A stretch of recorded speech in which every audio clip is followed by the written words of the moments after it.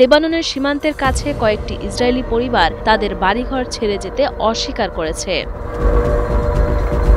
Lebanon Israel সীমান্তে হিজবুল্লার হামলার ভয়ে এলাকা খালি করেছে ইসরায়েল।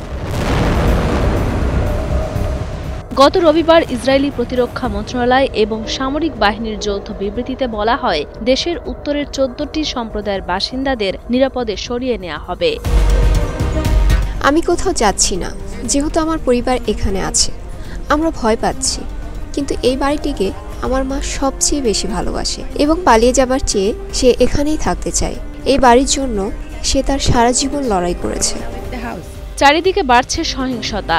লেবানন, ইসরায়েল সীমান্তে বাড়ছে উত্তেজনা। তবুও কেউ কেউ বলছেন যে তারা সীমান্তেই থাকবেন। সোখাত পরিবার খাদ্য মজুত করার সিদ্ধান্ত নিয়েছে এবং তাদের প্রয়োজনীয় সবকিছুর সরবরাহ নিশ্চিত করার জন্য দুই সপ্তাহের কেনাকাটা করেছে।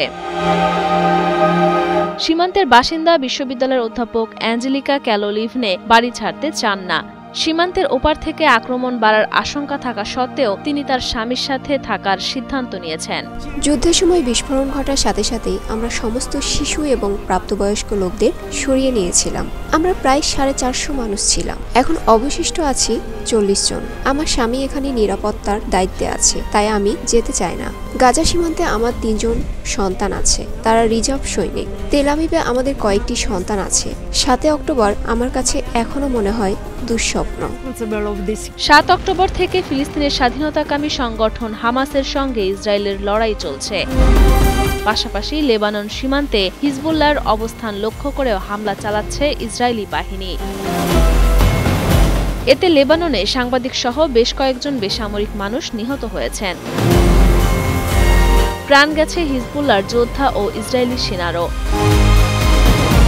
গত তেইশ অক্টোবর লেবাননের বালবেক শহরে লেবাননের হিজবুল্লার যোদ্ধা আব্বাস সুমানের অন্ত্যেষ্টিক্রিয়া অনুষ্ঠিত হয়। লেবানন ইসরায়েল সীমান্তের কাছে সংঘর্ষের সময় নিহত হন আব্বাস সুমান। এখন শত্রুর সাথে সত্যিকারের যুদ্ধ হচ্ছে। ইসরায়েল যদি গাজা বা অন্য কোনো এলাকায় হামলা করে যেখানে শিশু ও নারীরা আছে সেক্ষেত্রে দৃশ্যটা হবে ভিন্ন এবং ইসরায়েল আমেরিকা এবং ইউরোপ শুধু দেখবে।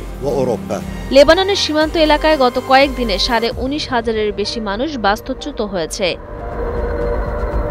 ইসরায়েলের সঙ্গে হিজবুল্লার লড়াইয়ের জেরে তারা ঘর ছাড়তে বাধ্য হয়েছে। আন্তর্জাতিক অভিবাসন সংস্থা এ তথ্য জানিয়েছে।